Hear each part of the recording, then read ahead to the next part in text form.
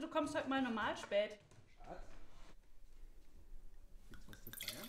Bei den ganzen Überstunden kannst du im Sommer acht Wochen frei machen. Wer will ausbezahlen? Jetzt sag mal, was ist das denn hier? Ein Rezept deiner Mutter. Meiner Mutter. Ich hatte Lust zu kochen. Aha. Sag mal, Ja.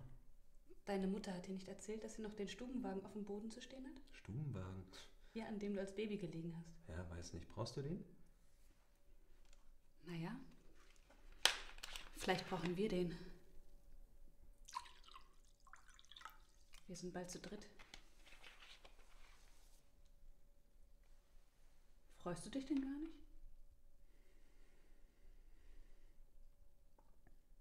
Ich kann nicht der Vater sein.